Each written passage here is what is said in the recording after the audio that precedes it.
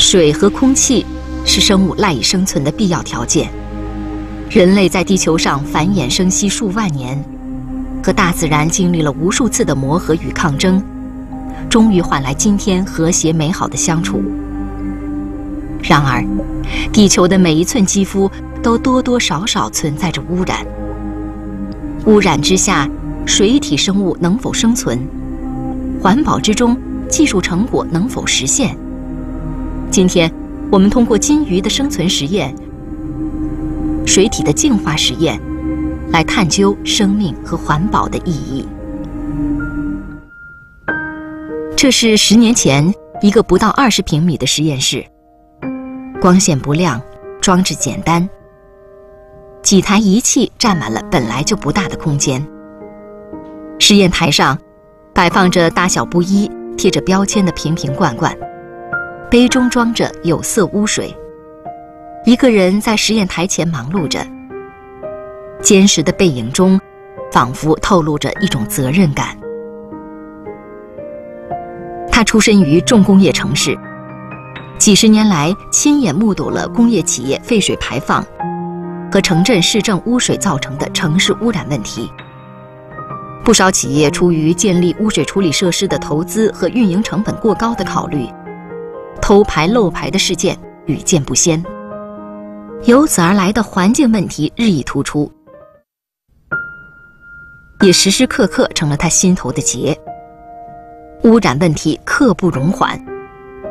身为科研工作者的他，回到实验室，决定潜心研究，希望找到一种低成本、高效率。解决水污染的办法，他就是来自于中国科学院理化技术研究所的李来峰研究员，一个多年来从事低温材料及超导应用研究的科研工作者。超导治理水污染，这两个看起来似乎完全不相干的领域，怎么就联系到一起了呢？又是如何绕开传统污水处理理念的？进入实验室，映入眼帘的就是这台正在工作的超导净水设备。十年后，实验室已经扩张到数百平米的面积，专门进行超导磁分离污水处理技术的研究。实验室中先进设备琳琅满目，科研工作者们忙碌于此，日夜不停。这些林林总总的实验设备正在验证着一项发明。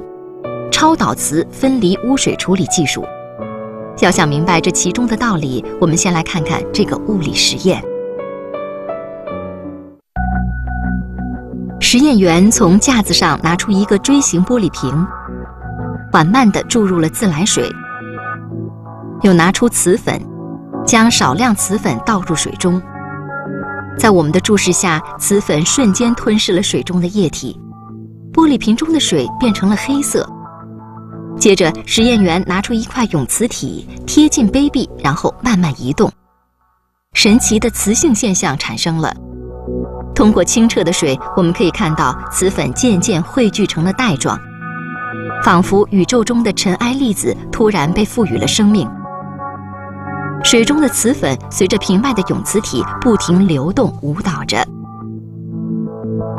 其实，超导磁分离污水处理的原理就可以从这小小的实验中得到解答。超导磁分离水处理的基本原理呢，它是一个通过预先在污水里加进一些磁种材料和水中的呃没有磁性的污染物进行结合，然后通过超导磁体提供的比较强的这个磁场给分离处理。它属于一种物理分离方法，不会对环境造成二次污染。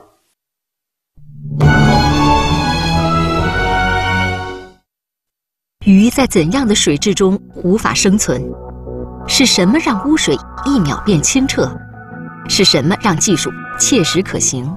科技之光正在为您播出：超导磁让污水变清水。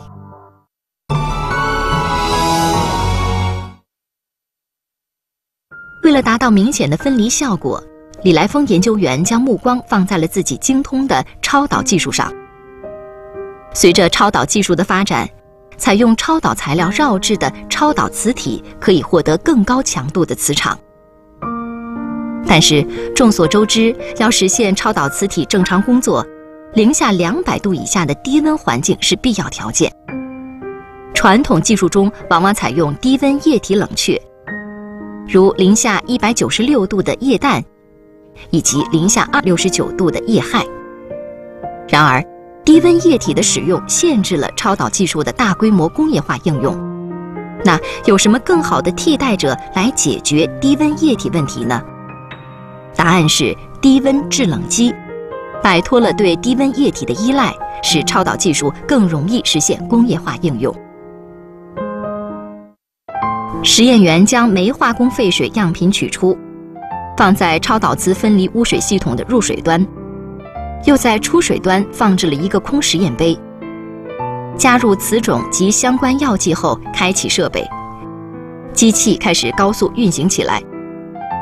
片刻净化后，出水端流出的水就已经清澈见底。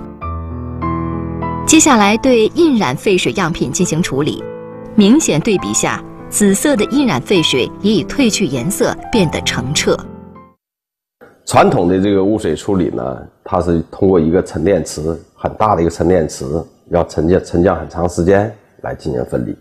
那么超导磁分离呢，我们是预先通过加一些磁种材料进去，然后实现快速的分离。水虽然清澈了，但融入到水中的有害物质是否也一并清除了呢？经过仪器测算，处理后的废水样品色度与浊度也已明显下降。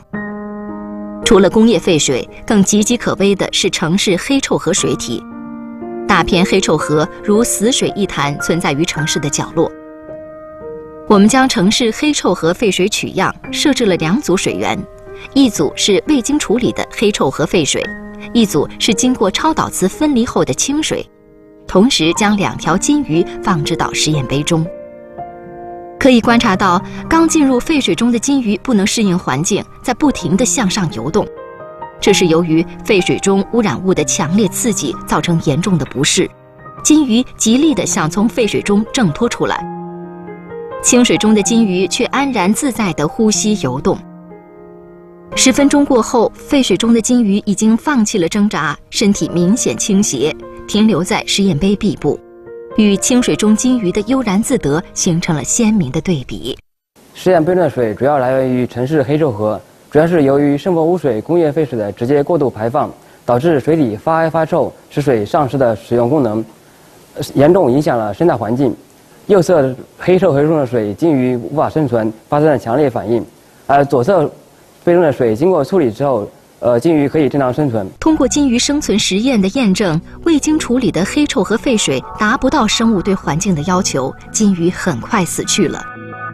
这些有害物质不仅毒害金鱼，如果与人类长期接触，也会对人体造成难以修复的伤害。现代医学已经证明了癌症的高发与水污染有着直接的关系。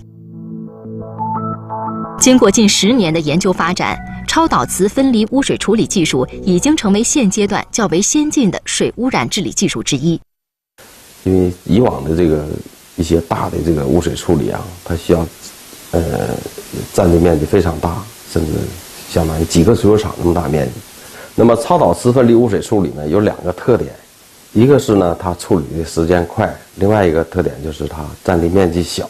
黄水变清水的黑臭和污水对比。